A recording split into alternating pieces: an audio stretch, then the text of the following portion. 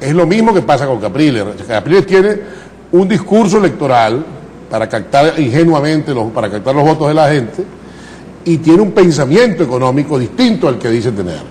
Por eso es que se enreda tanto hablando, no es porque no tenga capacidad para, para hacer discursos. Fuimos congresantes juntos y yo sé que habla, sabe hablar más o menos bien.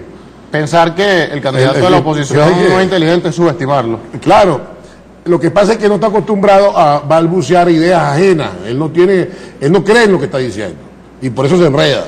Pero su pensamiento lo, lo desarrollaría en un discurso maravillosamente bien, que es el pensamiento que reduce el Estado a la política exterior y a la defensa nacional. A más nada.